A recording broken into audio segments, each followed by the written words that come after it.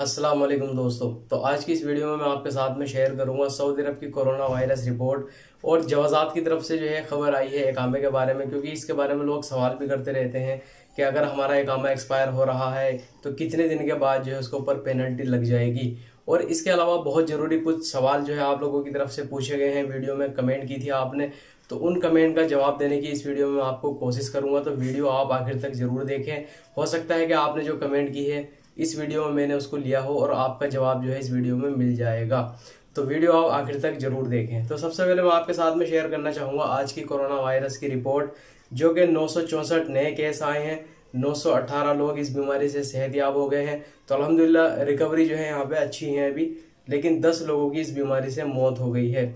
सबसे ज़्यादा जो केस आए हैं सऊदी अरब के अंदर 24 घंटे में, वो है रियाद में 402 मक्का में 215 एस्टन में एक सौ सत्तावन मदीना में उनतालीस, असीर में छत्तीस, अलकसीम में तेईस, तबूक में उन्नीस, हायल में अट्ठारह जजान में पंद्रह, नॉर्दर्न बॉर्डर में बारह, अलबहा में ग्यारह, नजरान में दस, अलजोफ में सात। सऊदी अरब के अंदर अभी जो एक्टिव केस हैं वो है नौ हज़ार दो सौ पिचासी एक हज़ार चौंतीस क्रिटिकल केस हैं जिनको आईसीयू में रखा गया है। तो अभी भी जो सऊदी अरब के अंदर कोरोना वायरस के केसेस हैं, वो लगातार जो है बढ़ रहे हैं। और इसके अलावा जो है, आज की जो रिपोर्ट आई है, जवाजात की तरफ़ से जो खबर है, वो मैं आपके साथ में शेयर कर देता हूँ। क्योंकि इसके बारे में लोग सवाल भी करते हैं। तो यहाँ पर बताया यह गया है कि अगर आपका एकामा एक्सपायर हो रहा है तो तीन दिन के अंदर अंदर यानी एक्सपायर होने के तीन दिन के अंदर अंदर आपको उसको रिन्यूअल कराना होगा। अगर आप उसको रिन्यूअल नहीं कराएँगे तो आपके ऊपर पेनल्टी लग जाएगी। और उसके बाद जो है, आप पेनल्टी जमा करेंगे और पेनल्टी जमा करने के बाद में एकामे की फ़ीस जमा करेंगे और फिर आपका एकामा हो जाएगा रिन्यूअल और इसके अलावा जो है, कुछ ज़रूरी सवाल जो है पूछे गए हैं आप लोगों की तरफ़ से। तो वीडियो आप आखिर तक जो है, ज़रूर देखें। इसमें कुछ ज़रूरी बातें हैं, वो आपके साथ जो है, मैं शेयर करूँगा। तो सबसे पहले यहाँ पर एक सवाल जो है किया गया है। वालेकुम भाई, वालेकुम अस्सलाम। मैं इंडिया आ रहा हूँ, सत्रह अठारह तारीख को सऊदी अरब से पीसीआर ले जा, ले जाकर आ रहा हूँ। एक महीने के बाद फिर इंडिया से मेरी फ़्लाइट है सऊदी अरब के लिए।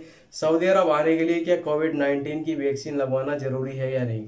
तो देखिए, उनका सवाल यहाँ पे यह है कि वो सऊदी अरब से छुट्टी आ रहे हैं। तो मेन सवाल उनका यह है कि जब इंडिया से सऊदी अरब के लिए जाएँगे तो क्या कोरोना वायरस की वैक्सीन लगवाना लाजमी है?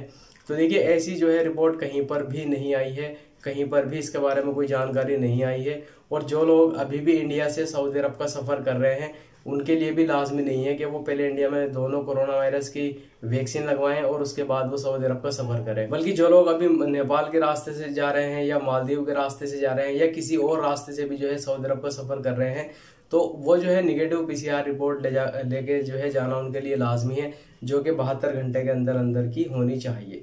और इसके अलावा जो है बोर्ड सवाल किया गया है हरूब कफील काट सकता है क्या? एक साल, चार महीने हो गए हैं।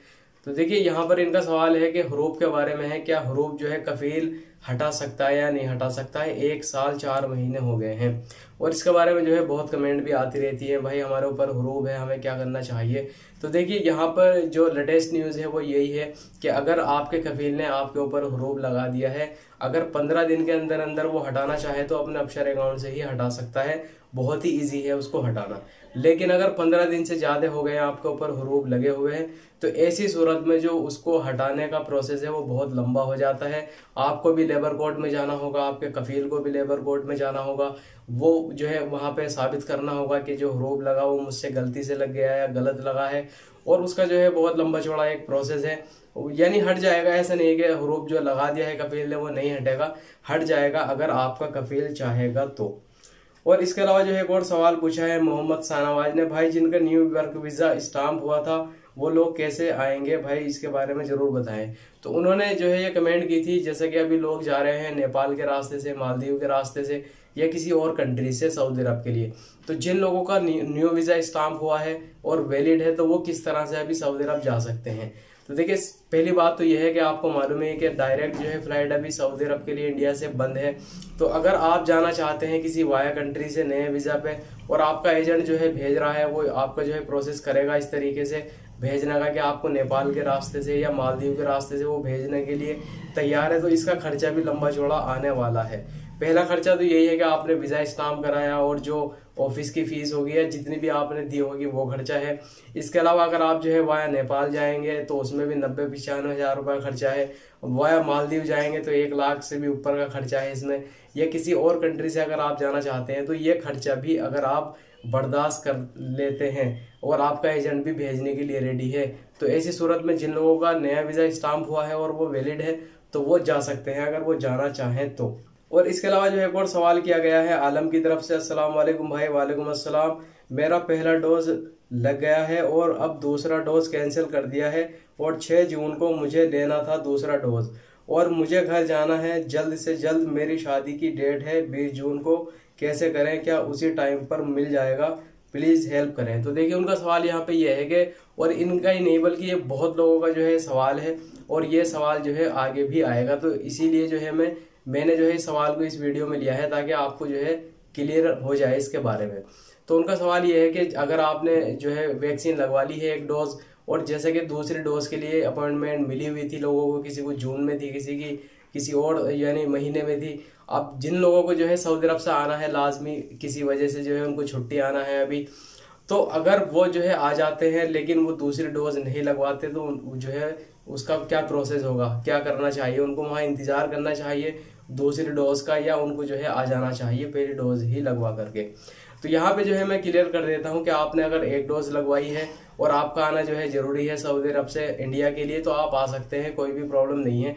जैसा कि अभी तीन दिन पहले भी मिनिस्ट्री ऑफ़ हेल्थ की तरफ़ से एक लेटेस्ट जानकारी आई थी कि जिन लोगों ने पहले भी अपॉइंटमेंट ली थी वैक्सीन लगवाने के लिए, लेकिन किसी वजह से वो नहीं पहुँच पाए वैक्सीनेशन सेंटर पे और उनके जो है वैक्सीन नहीं लगी। तो उनसे कहा गया है कि वो दोबारा से जो है रिबुकिंग करें अपॉइंटमेंट लें और दोबारा से अपने वैक्सीन लगवाएँ। तो जो लोग अभी आना चाहते हैं सऊदी अरब से इंडिया और उन्होंने एक वैक्सीन लगवा रखी है और दूसरी वैक्सीन की डेट जो है बहुत आगे है या वो जो है कैंसिल हो गई है, अभी कोई डेट ही नहीं है, वो जो है कुछ दिनों में पता चलेगा। क्योंकि सऊदी अरब की गवर्नमेंट जो है अभी चाह रही है कि जिन लोगों के अभी एक भी वैक्सीन नहीं लगी है, कम से कम एक वैक्सीन जो है सभी लोगों के लग जाए। और उसके बाद जो है, जो दूसरी डोज है, वो अपॉइंटमेंट जो है आपको दिया जाएगा या कोई और उसका सिस्टम होगा, वो बाद में इसके बारे में पता चलेगा। लेकिन अगर आपका आना ज़रूरी है तो आप आ सकते हैं और अपना छुट्टी काट के यहाँ से चले जाएँ।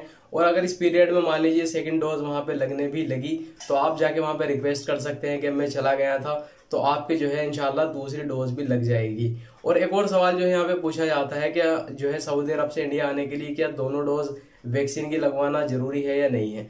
तो बिल्कुल भी ऐसा कहीं पर भी जो है नहीं बताया गया है इंडियन गवर्नमेंट की तरफ़ से, बल्कि यहाँ पे जो है यही जानकारी आई है कि आपको निगेटिव पीसीआर रिपोर्ट लेकर के अपने साथ में आना होगा। और देखिए, एक और भाई ने जो हमसे सवाल पूछा था, उन्होंने कहा था कि मेरे कफील ने मेरा टिकट दिया है तो हम जो है सेल्फ डिक्लेरेशन फॉर्म जो है वो किस तरह से भरेंगे?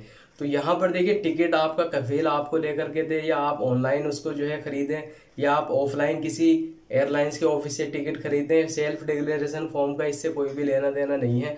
आप जो है टिकट कहीं से भी ले सकते हैं, आपका कफील भी लेकर के आपको दे सकता है। लेकिन बहत्तर घंटा पहले जब आपकी फ़्लाइट है तो उससे बहत्तर घंटा पहले आपको ऑनलाइन सेल्फ डिक्लेरेशन फॉर्म जो है फिल करना होगा। अगर आपको वो फॉर्म भरना नहीं आता है तो आई बटन में उसका लिंक दे दूँगा मैं। उस पर जो है मैंने पहले कंप्लीट वीडियो बनाई थी, उसमें मैंने तरीका बताया था, किस तरह से आप उसको अपने मोबाइल से ही भर सकते हैं। उसमें छोटी जो है कुछ, यानी मालूम है आपके बारे में, वो उसमें जो है फिल करनी है। तो आई बटन में उसका लिंक मिल जाएगा, आप वहाँ पर देख के उसको भर सकते हैं। तो ये सऊदी अरब की कुछ ज़रूरी जानकारी थी मैंने आपके साथ में शेयर कर दी है। अगर आप कोई भी सवाल पूछना चाहते हैं तो कमेंट बॉक्स में कर सकते हैं।